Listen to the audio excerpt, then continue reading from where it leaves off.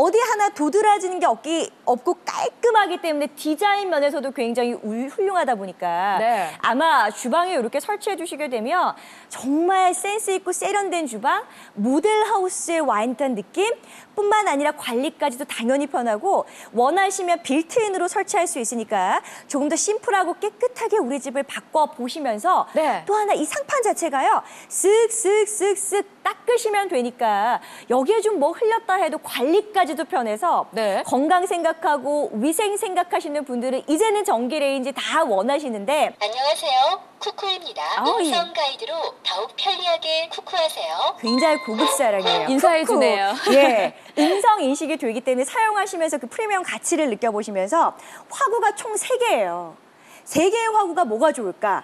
여기서 계란 후라이 하나 하고 어. 여기서 바글바글 된장찌개 하나 끓이고 여기서는 계란찜을 하고 엄마들 아침에 요리할 때도 반찬 여러 가지 하시잖아요. 음. 화구가 세 개니까 한 번에 세 가지 요리를 동시에 하실 수가 있고요.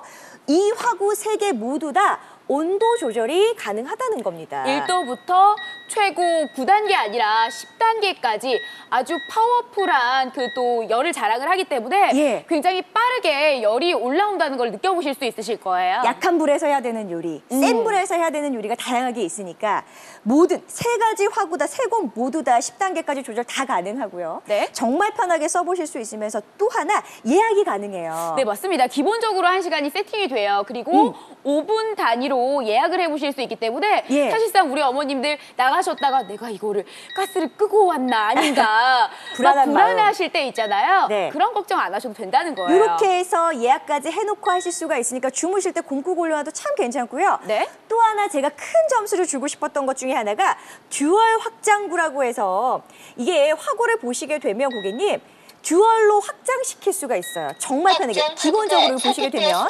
요만큼 화력을 쓸 수도 있습니다만 제가 지금 dual 확장구를 확장했습니다라는 버튼을 눌렀잖아요. 네. 이렇게 넓어지다 보니까 왜 한국 사람은 잔치요리 많이 해야 되고 음. 날 추워지는 겨울철에는 큰 곰솥 올려놔야 되는데 그쵸, 그쵸. 요만한 화구에서 끓이는 것보다는 더 넓게 하는 게 훨씬 득이겠죠. 네, 맞습니다. 그래서 듀얼로 내가 올리는 용기에 따라서 맞춤 불 사이즈를 만들어 보실 수 있다는 얘기예요.